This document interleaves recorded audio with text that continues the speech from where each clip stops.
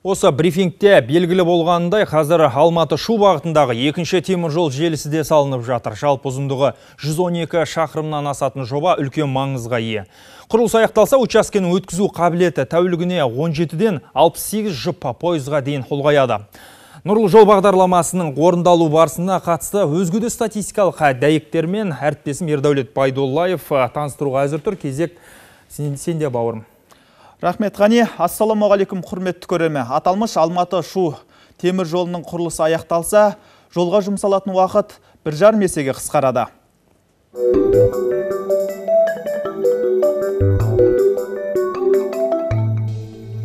Нұрлы жол. Бұл бағдарлама аясында құрық портының паромдық кешенін темір жолмен қосатын құрылыс аяқталды. Жарты жылда ол жерден 420 мың тонна жүк ауыстырып тиелген. Аталмыш көрсеткішті жыл соңына дейін 1 миллион тоннаға жеткізу көзделуде.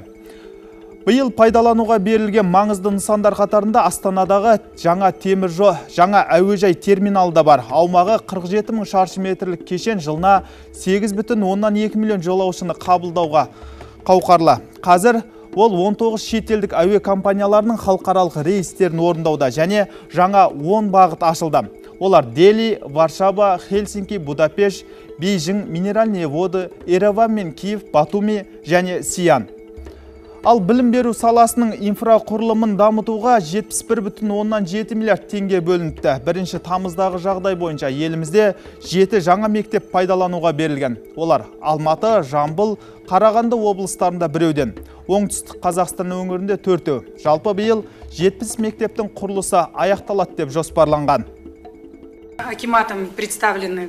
Жергілікті әкімдіктер аталған мектептерді жыл соңына дейін пайдалануға тапсыратындығы жөнінде кепілдік берді. Министрлік тарапынан ай сайын құрылыс жұмыстарына мониторинг жасалуда. Ұлттық қордан бөлінген барлық қаржы тиісті көлемде игеріліп жатыр.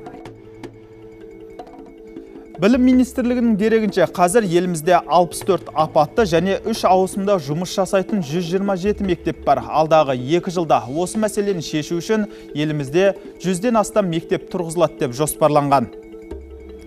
Ғани, бүгінгі күннің дәйекті сандары осындай. Шындақ барларыңа рахмет, Ердәулет, ал біз хабарымызды жалғастырайық.